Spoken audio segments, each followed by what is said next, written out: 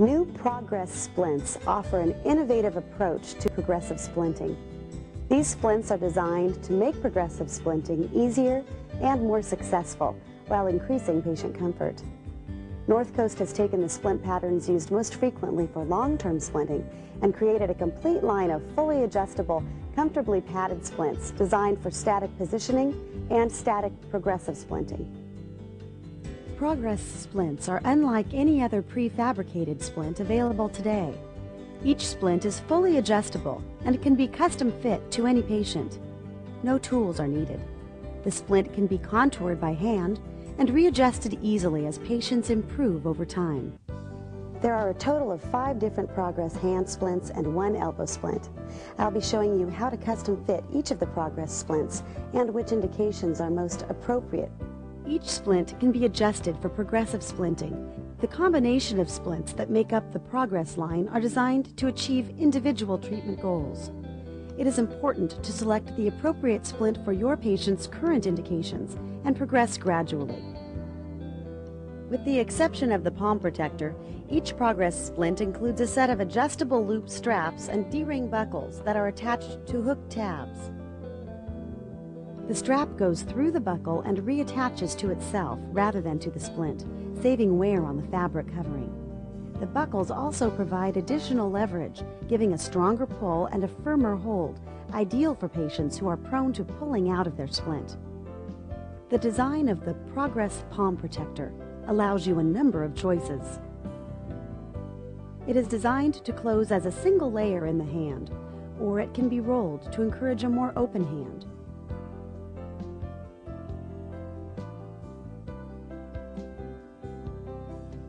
As the hand begins to open, you may also wish to add a roll of foam for further control. The palm protector is appropriate for persons with long-term contractures or clenched fist positioning due to spasticity, coma, or severe cognitive impairment.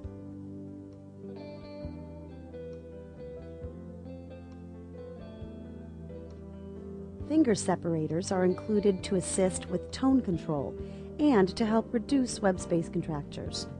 The finger separators are attached with a hook closure and may be removed if they are not appropriate for your patient.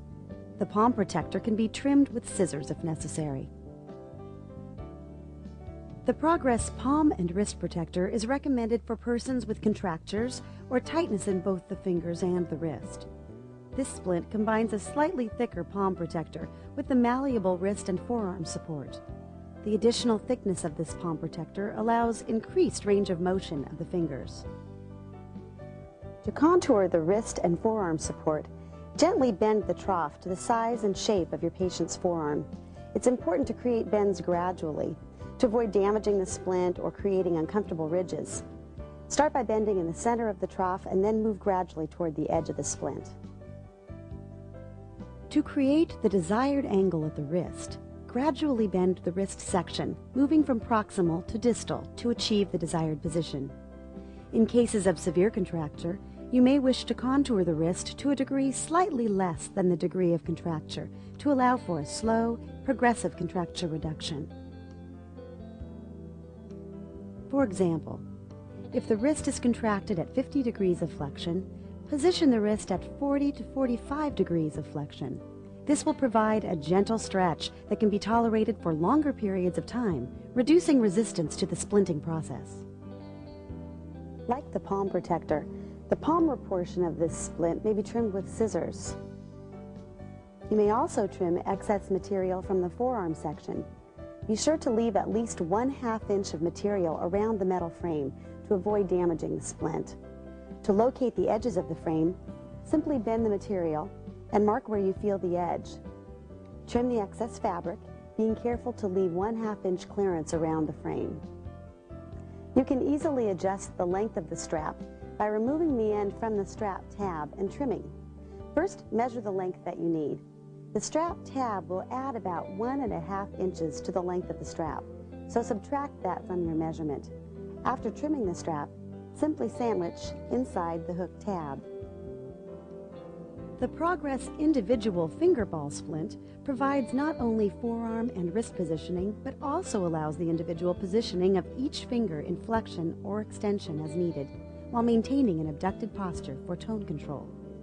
The unique raised palmar surface provides complete contact to inhibit tone. This splint is ideal for persons with hand contractures or moderately increased tone and may also be used postoperatively following fractures, or whenever the fingers need individual positioning. The individual finger ball splint may be used in combination with a program of continuous passive motion. Simply reposition each finger to retain the gains made following a CPM treatment session. To custom fit the splint, gently contour the forearm to fit your patient. The wrist may also be adjusted to the desired degree of flexion or extension. Simply bend the frame gradually to the desired angle. Once the forearm support has been contoured, gently adjust each finger to the desired degree of flexion or extension.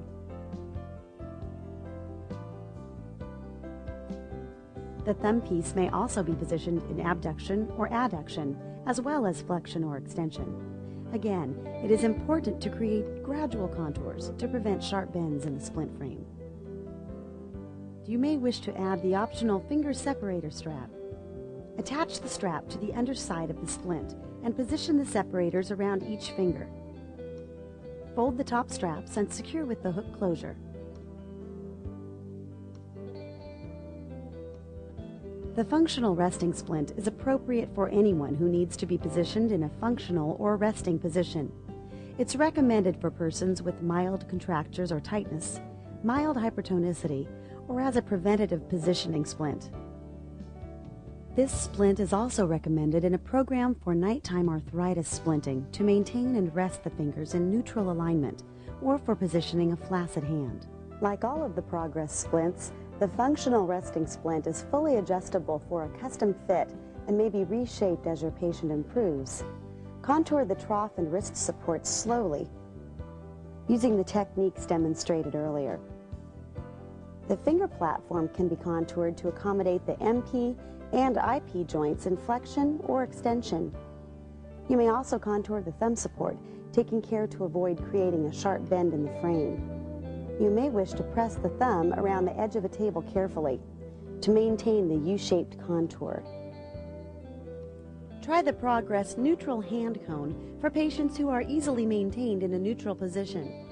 Simply shape the splint as needed to position the hand in a neutral, tone-controlling posture. The Progress elbow splint uses the same materials as our Progress hand splints, with a heavier frame to accommodate stronger hypertonicity at the elbow. The sides of the elbow splint can be contoured for a custom fit, and the malleable frame allows you to position the elbow anywhere from 90 degrees of flexion to full extension once the splint has been contoured, apply the D-rings and straps as needed. You may want to place the two center D-rings at an angle so that the straps may be crossed diagonally on the dorsal portion of the elbow. This helps maintain a snug fit, especially for patients with severe hypertonicity.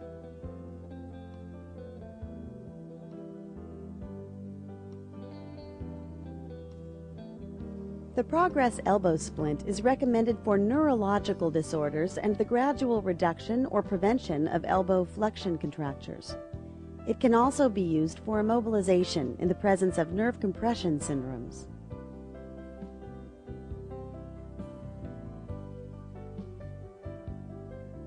The optional Olecranon pad, sold separately, is made of dense, compatible hook fabric it can be used with the Progress elbow splint to add cushioned counterforce at the elbow to help secure the splint in place.